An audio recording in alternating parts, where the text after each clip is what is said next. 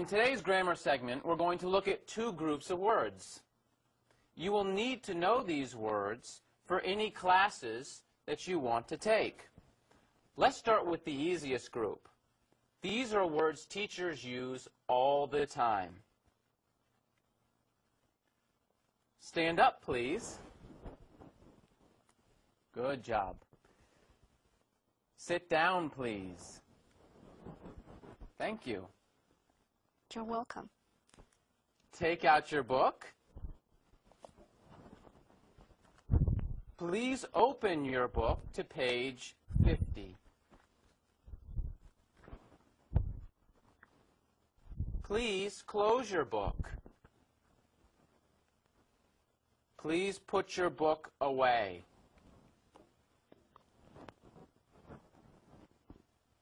Raise your hand, please. Put your hand down, please. Listen to the words.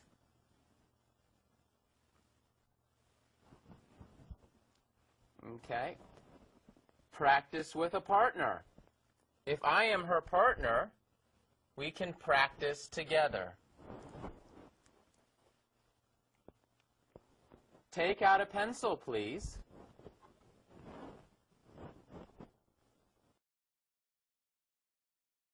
Okay, let's review those words. I'll give you one of these commands, and you actually do it. Ready?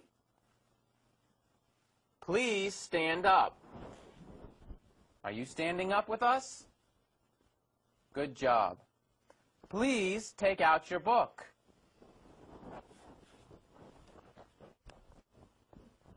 Please sit down. Open your book to page 15, please.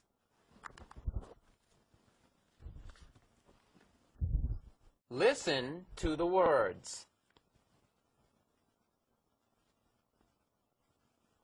Practice on page 15 with your partner.